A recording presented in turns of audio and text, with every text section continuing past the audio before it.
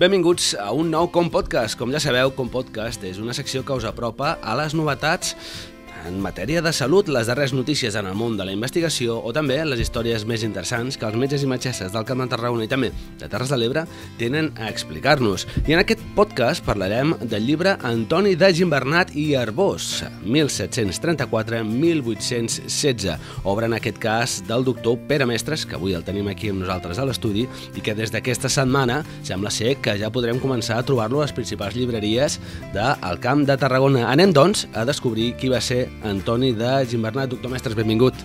Moltes gràcies. Doncs la, la pregunta de rigor és evident, doctor Mestres. Qui va ser uh, aquest personatge que responia al nom d'Antoni de Gimbernat?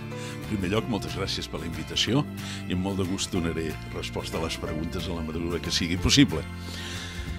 Antoni de Gimbernat va ser, sens dubte, la figura més rellevant de la medicina i cirurgia espanyoles a l'època de la Il·lustració rellevant perquè, a més, va ser l'únic que va tindre ressò internacional. Uh -huh. Ell va ser un gran anatòmic i un gran cirurgià. Però lo interessant de l'actitud eh, com a cirurgià i com a metge de Jim Bernat és que ell va utilitzar l'anatomia com a base per millorar la seva cirurgia. Uh -huh.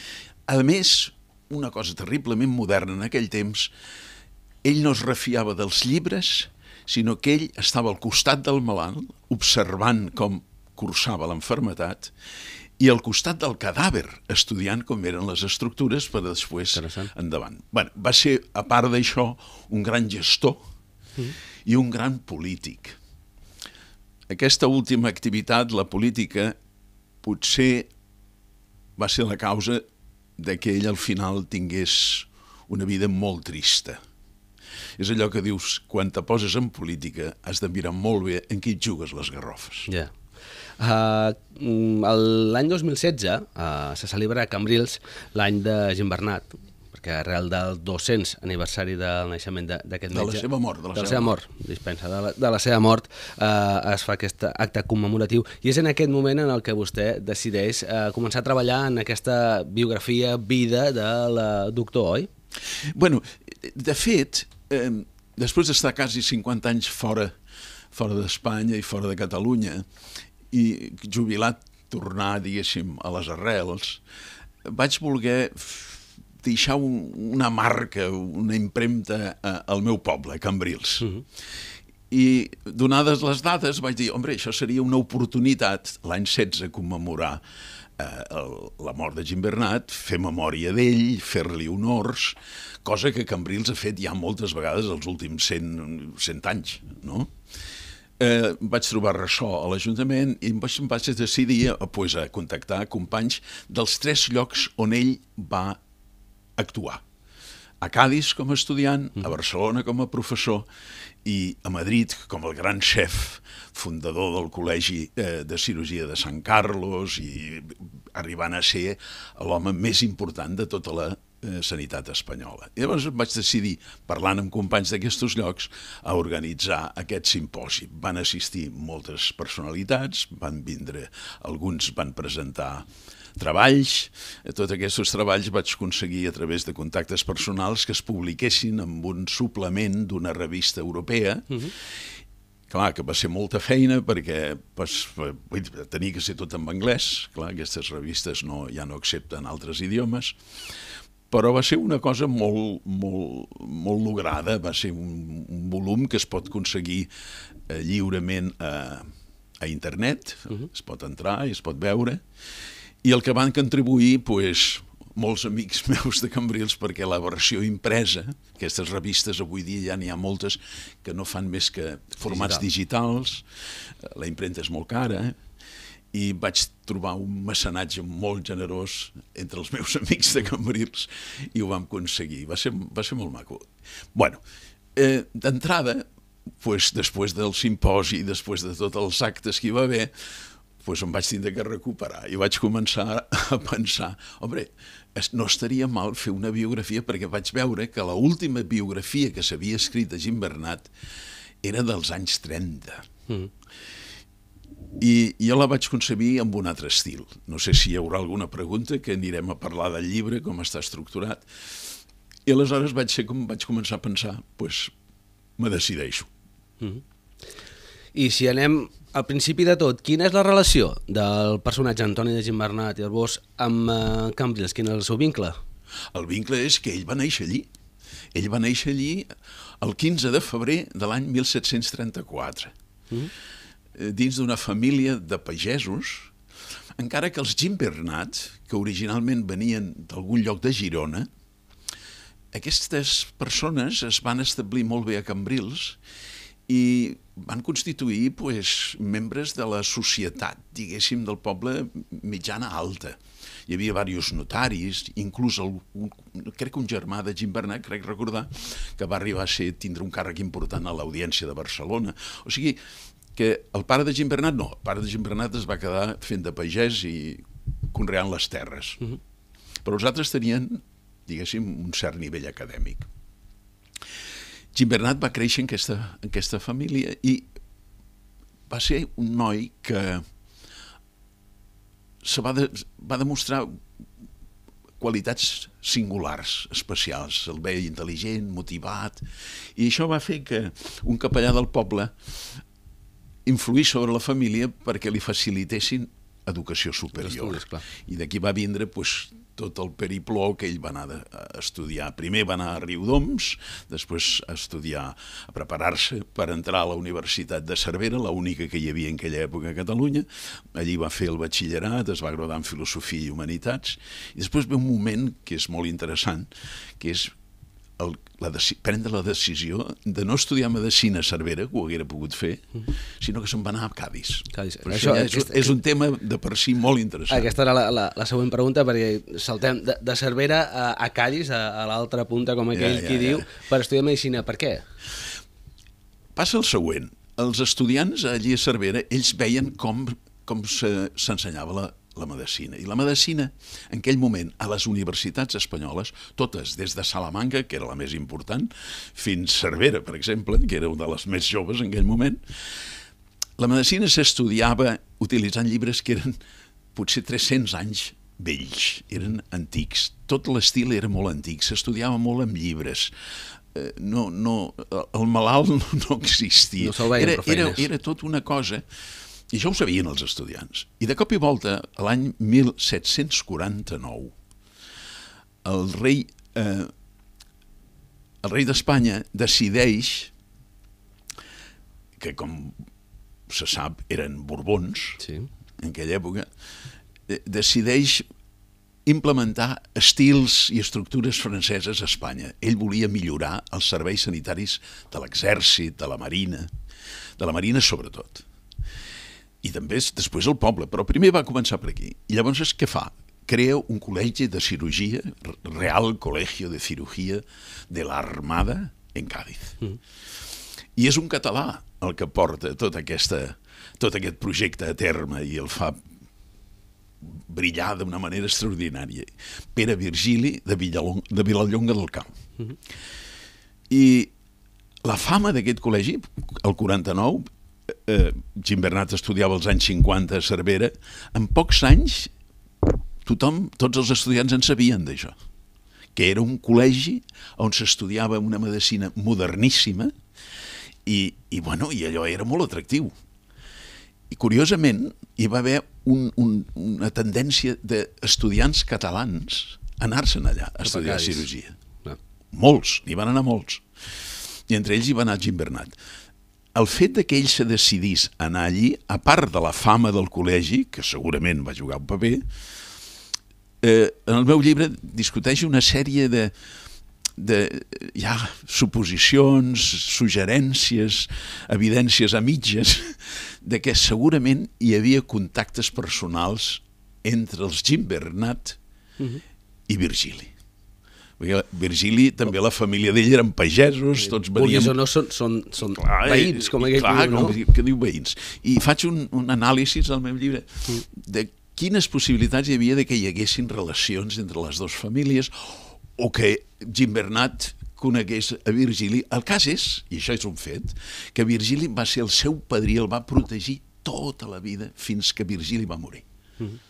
O sigui que, de fet, si hi ha un deixemple de Virgili, és Gimbernat. El deixeble de Virgili seria el doctor Gimbernat. deixeble estimat, a més. deixeble estimat. Si avancem una mica en, en el temps, eh, després d'estudiar a, a Caris, eh, en aquesta escola referent en aquell moment a, Absolutament. a nivell eh, estatal, eh, doctor Gimbernat comença a viatjar per Europa i allí és on comença a conèixer no, les darreres novetats en matèria de cirurgia i després el que fa és tornar cap aquí, cap a, a Barcelona i acaba sent reclamat pel mateix eh, Carles III a Madrid, oi? Correcte.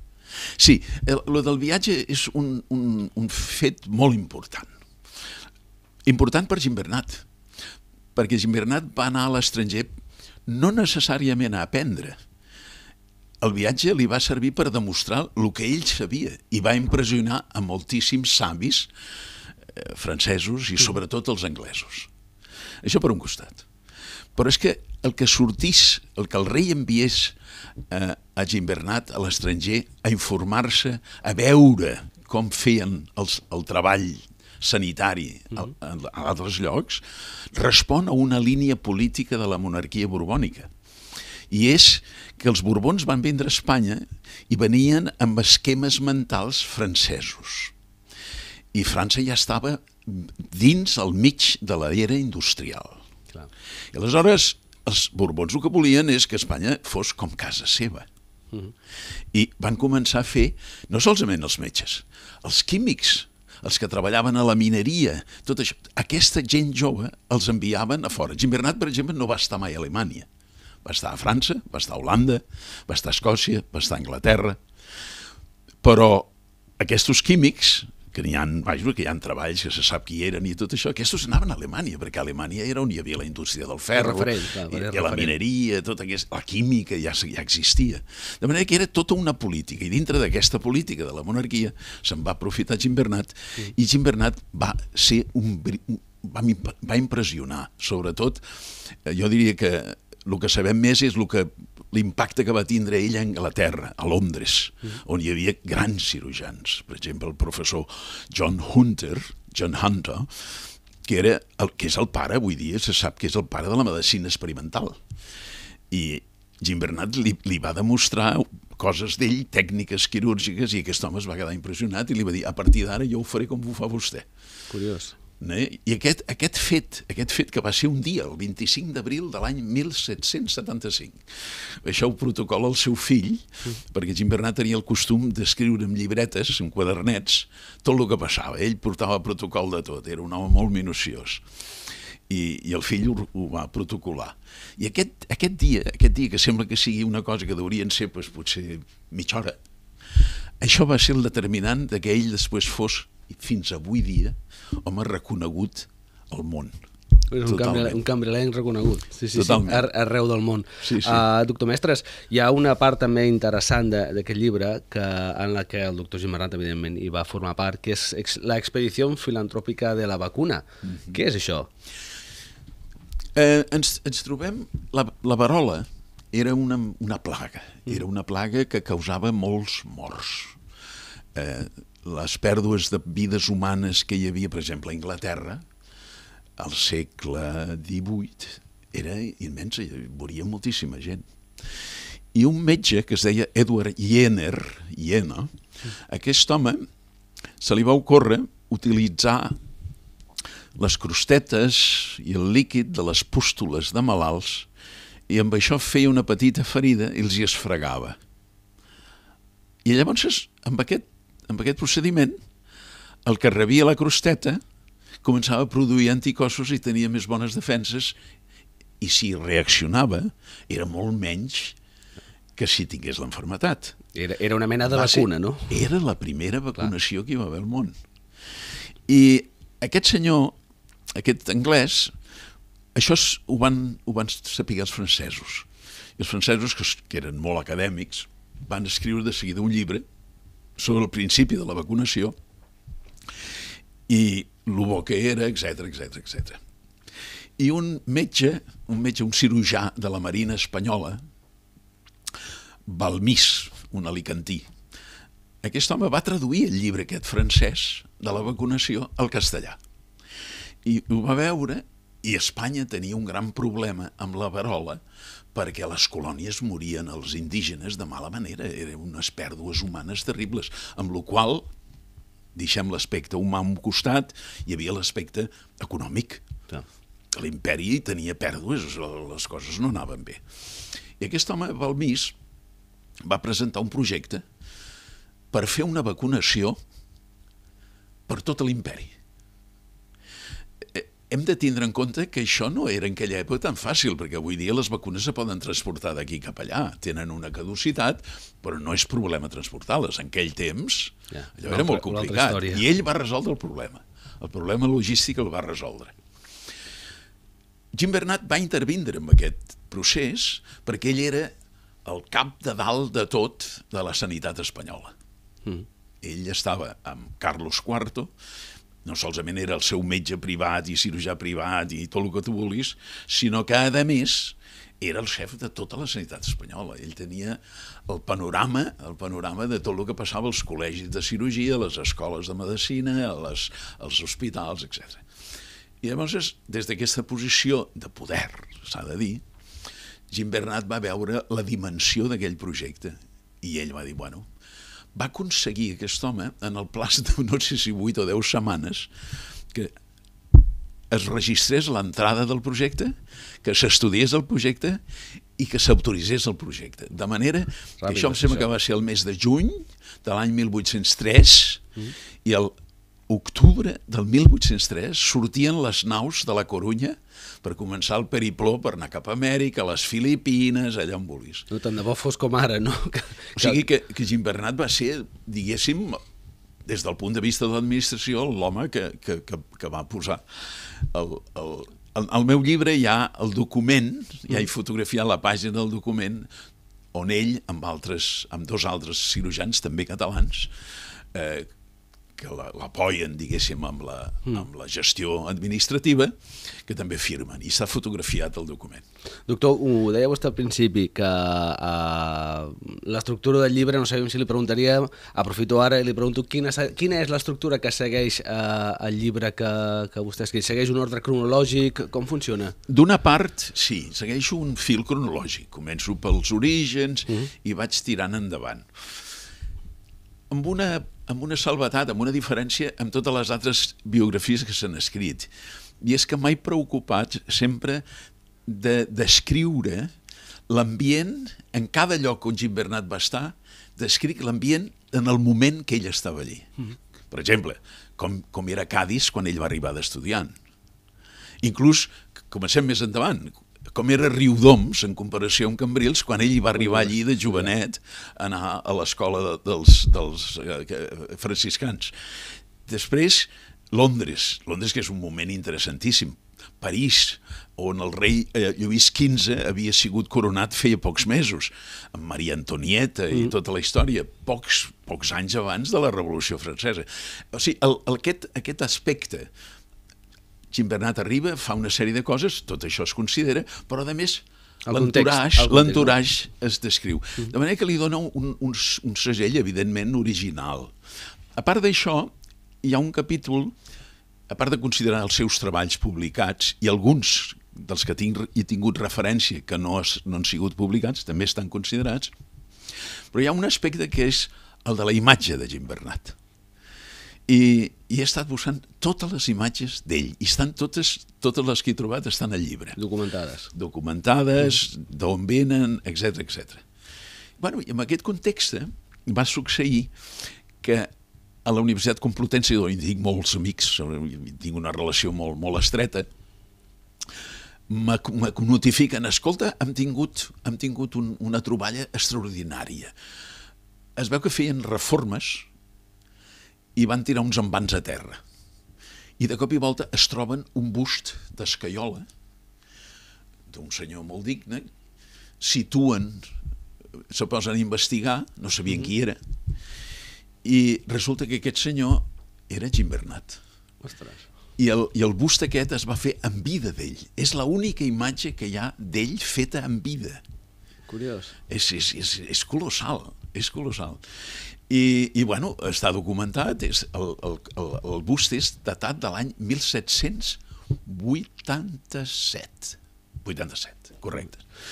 I els, els professors de l'Escola de Belles Arts de la universitat, la professora Blanc, eh, l'han restaurat, la, són els que han investigat i han trobat... Eh, resulta que en, el, el, el Col·legi de Sant Carlos a Madrid hi havia costums franceses. I els francesos, quan arribava un nou catedràtic o una personalitat de l'escola, li donaven un càrrec superior, etc pues, li feien un bust i els col·locaven en algun lloc, fos l'aula magna o això, i anaven mm. col·locant tot això. I es veu que això a Madrid hi havia aquest costum. L'únic que passa és que els edificis, de, l'edifici primer del col·legi eh, pues, ha sofert molts canvis i moltes coses, no sé si també es va, es va deteriorar amb la Guerra Civil, i, i segurament a mi m'han dit que ells suposen que això ho van amagar perquè durant la guerra allò no, no es fes malbé, ja però ser. es van perdre els papers.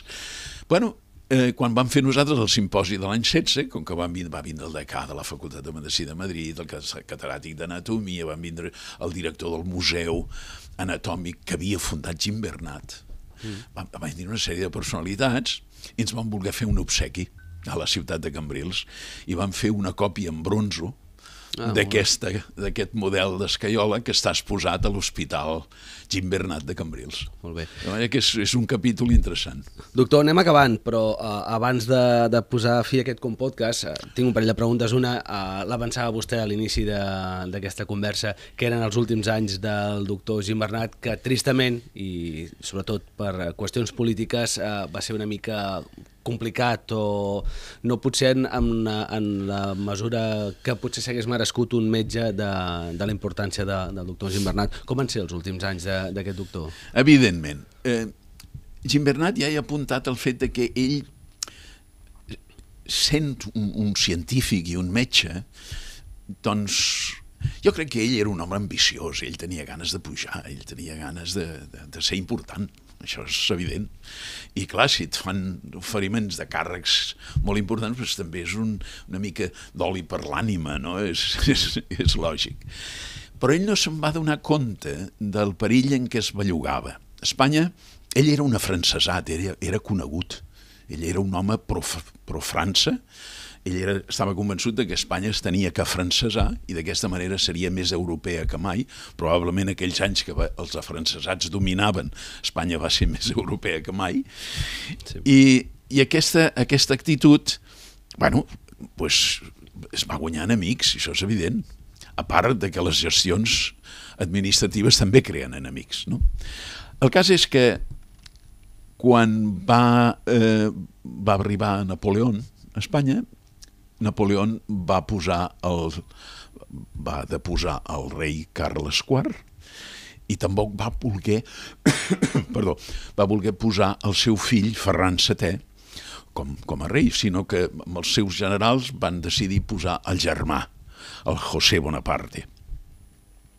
Un home molt intel·ligent i un gran home de negocis, un gran personatge. I, bueno, i aquest, es va refiar totalment eh, de, amb Jim Bernat, es van entendre tots dos la mar de bé, però està clar, quan Bonaparte, Josep Bonaparte va tindre que deixar la corona espanyola i que se'n va anar als Estats Units, se'n va a Amèrica, pues, eh, Jim Bernat va caure en desgràcia. I Ferran VII, a pesar de que Jim Bernat havia sigut el metge que va atendre el part on ell va néixer. És curiós, això. Però està clar, jo crec que al tombant d'un rei tens moltes figures envejoses i llavors es va vindre, jo diria, que, un, que, una, que una venjança, i aquest rei, que realment va ser com a rei molt, molt incompetent, ell no va saber imposar-se i defendre amb un home que havia fet moltíssim pel país. El cas és que Jim Bernat se li va, el van treure de tots els càrrecs. Li van negar el sou, que tenia dret, la pensió que tenia com a cirurgià de cambra mm. del rei. Bueno, un desastre va, per una sèrie de circumstàncies es va quedar sec.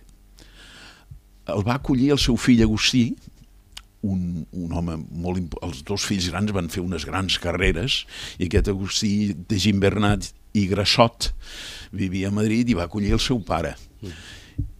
I bueno, eh, aquest home va, va morir pues, amb, el, amb, el, amb, el, amb el marginat completament i certament és curiós que no gaire temps després va vindre una reacció de cercles, per exemple, tot el professorat del col·legi, del Real Col·legi de Cirurgia, on ell havia sigut el xef i tot això, tota aquesta gent es van saltar a la torera, com diuen els castellans, el que deia el rei i el que deien altres, i li van fer reconeixements i va començar una, una, una època de reconeixements que encara no ha acabat, perquè ara fa dos anys la Societat Europea de la Hèrnia van tindre el Congrés Europeu i em van demanar a mi que fes la lliçó inaugural sobre sí. Jim Bernat i les tècniques operatives d'ells de les hèrnies.